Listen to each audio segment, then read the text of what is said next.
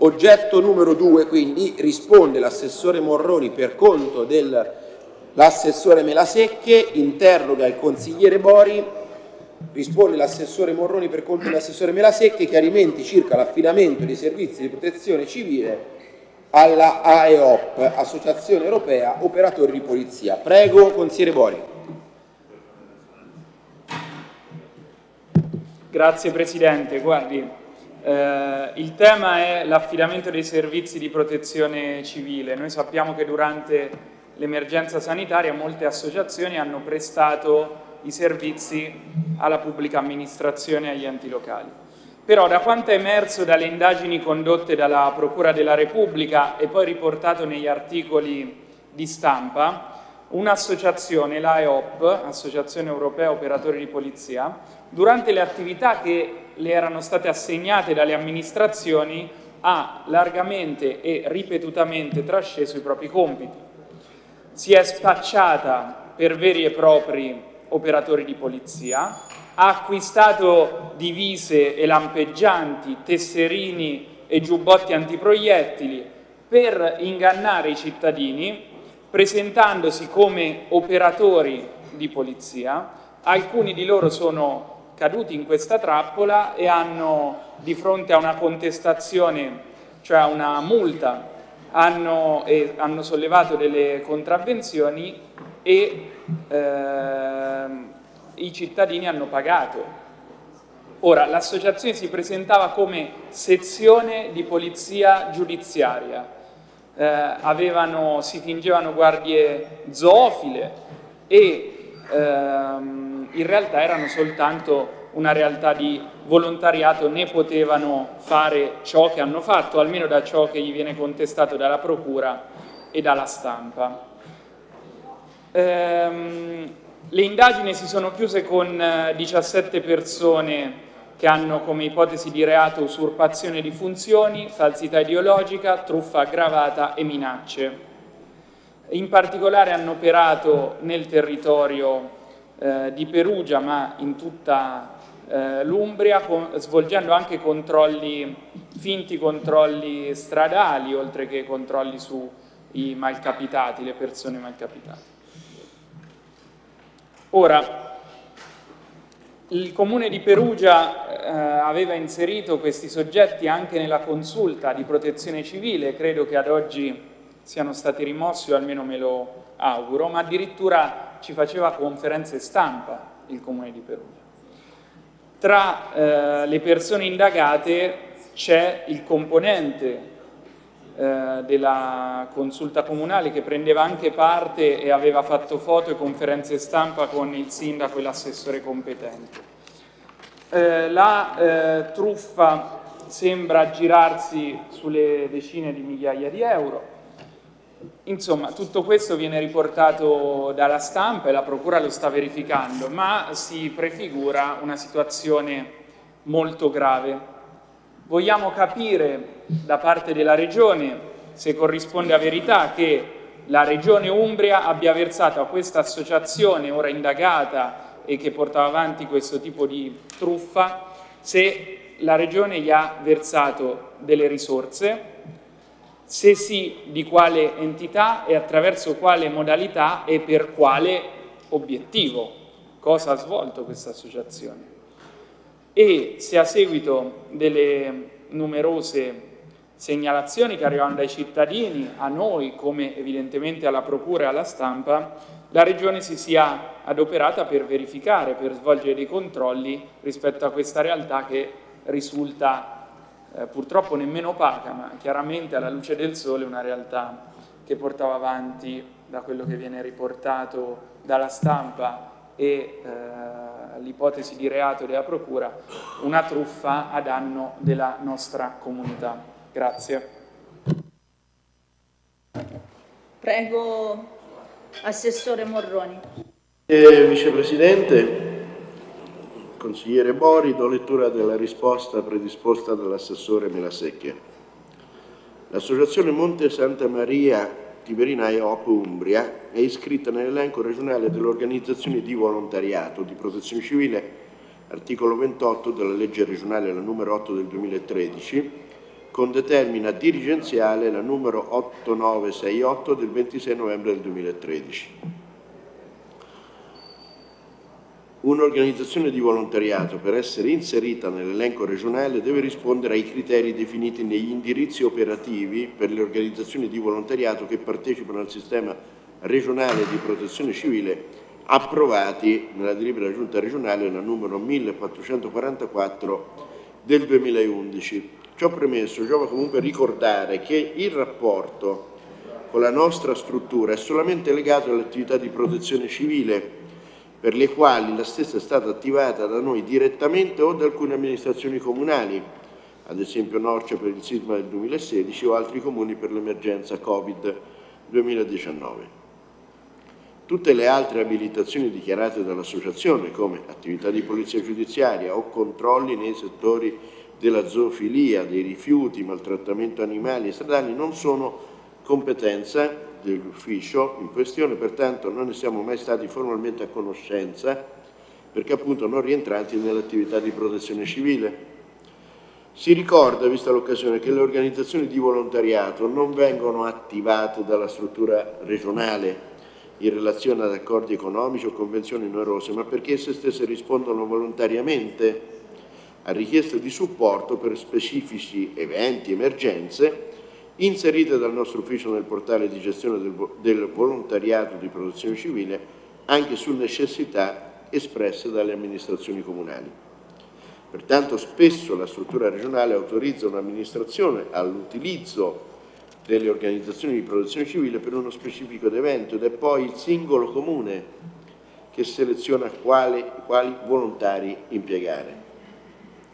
Nei casi in cui le organizzazioni di volontariato vengano attivate, possono usufruire, se previsto preventivamente nel documento di attivazione, dei benefici degli articoli 39 e 40 del decreto legislativo numero 1 del 2018.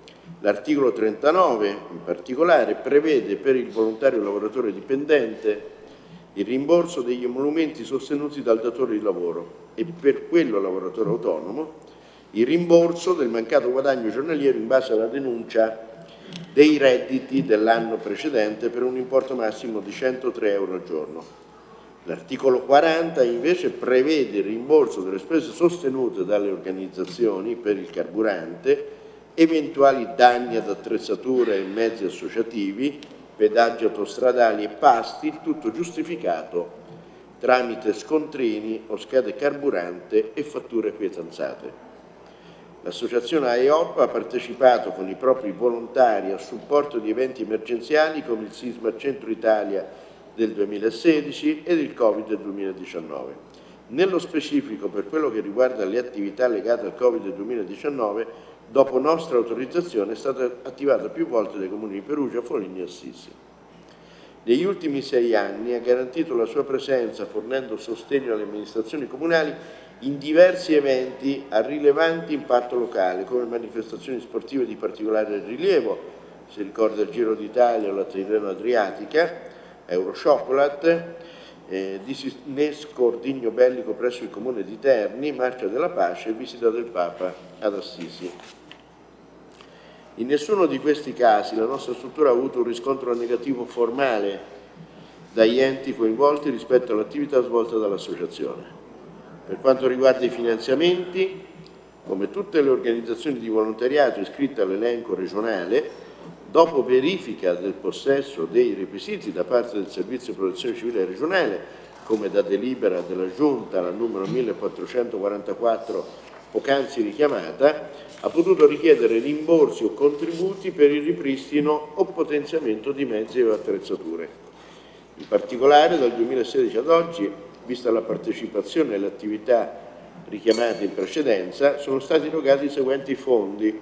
Fondi regionali 2021, contributo spesa assicurazione automezzi 276,55 euro, appunto rimborso parziale spesa assicurazione automezzi, su istanza delle associazioni, assegnazione a tutti i richiedenti in base alla disponibilità di bilancio dell'anno. Inoltre, ripristino sisma del 2016, l'ordinanza numero 438 del 2017, dispositivi individuali di manutenzione automezzi per un importo di 1.382,72 euro. Criterio di assegnazione vengono inserite tutte le associazioni in percentuale alle presenze nel sisma del 2016, questo è il criterio di ripartizione dei fondi. Ed infine potenziamento post sisma 2016, articolo 41,4 DL50 del 2017, 19.570 quale contributo per sostituzione automezzo rottamato post impiego sisma 2016.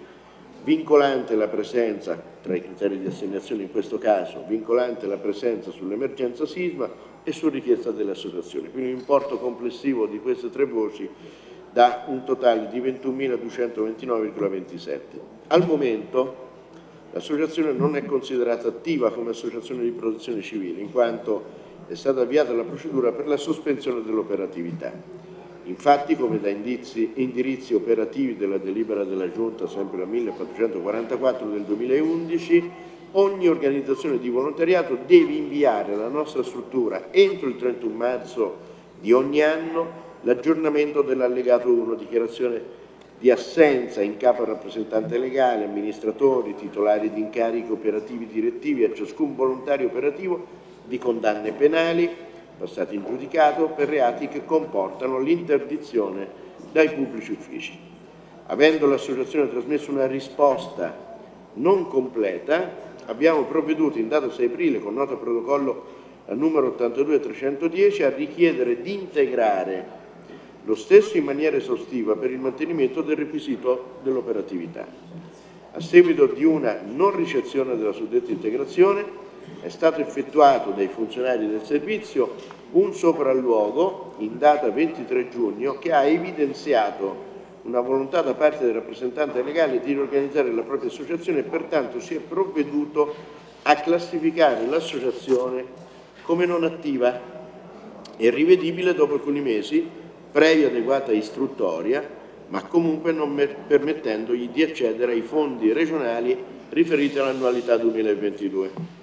La sospensione dall'operatività non permette inoltre l'attivazione in eventi emergenziali o a rilevante impatto locale e l'accesso ai benefici richiamati in precedenza all'articolo 39 e all'articolo 40 del decreto legislativo numero 1 del 2018.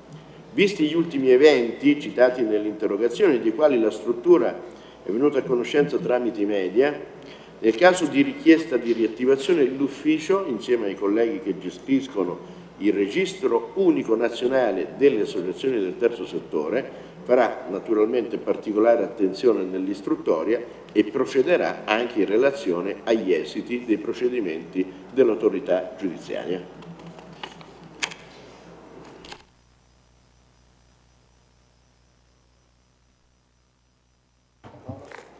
Grazie Assessore Morroni, prego Consigliere Bori per la replica.